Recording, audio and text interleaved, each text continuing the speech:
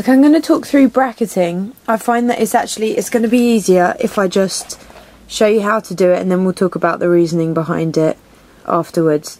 So, when we're doing exposure bracketing, because you can also do focus, but we're going to talk through exposure bracketing. If we just switch to either time value or aperture value.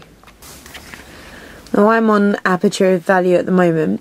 If I press the function set button and scroll down this sidebar, you'll see this one here it looks like an icon it's got it looks like it's got sort of one dark one middle and one light image. And that's actually exactly what bracketing does. So usually it would be turned to this so it's got the little off word next to it, it just means that we're not using bracketing. So you've got your exposure bracketing here and your focus here but we're going to talk through exposure today. So AEB is just auto exposure bracketing so you press display in order to change your settings.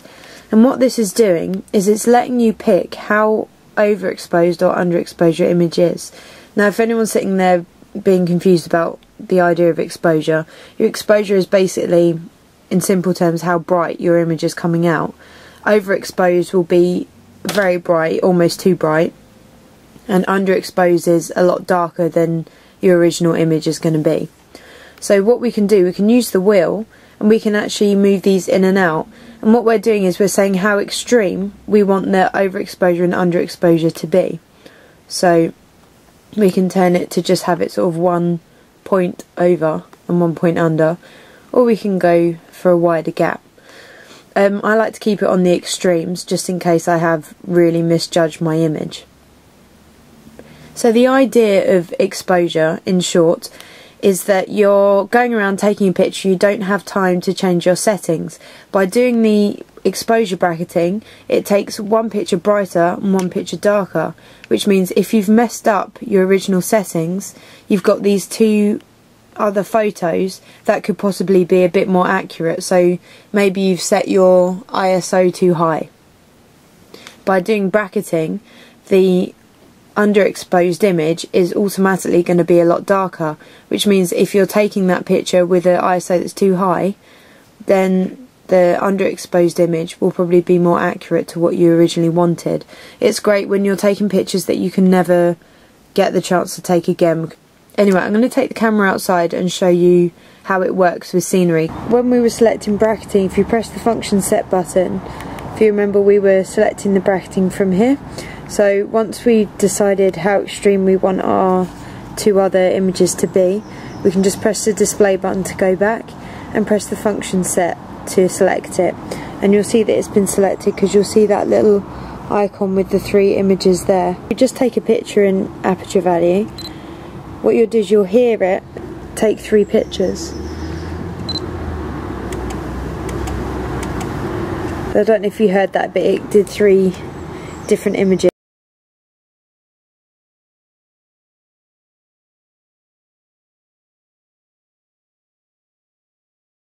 And what you'll see is this one here is extremely overexposed but what it's doing is it's picking up those green highlights and it's picking up the highlights on the chairs.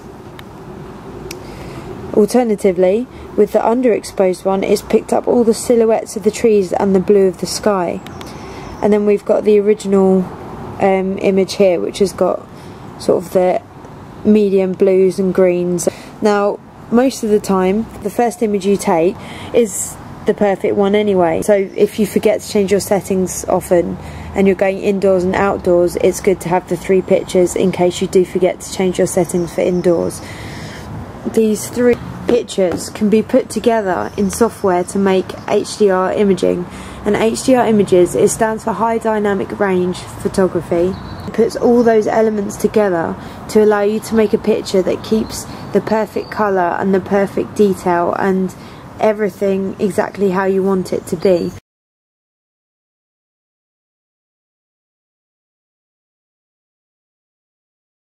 And I'm going to show you how to do that in a Photoshop tutorial. This was basically to run through what exposure bracketing is and how to do it.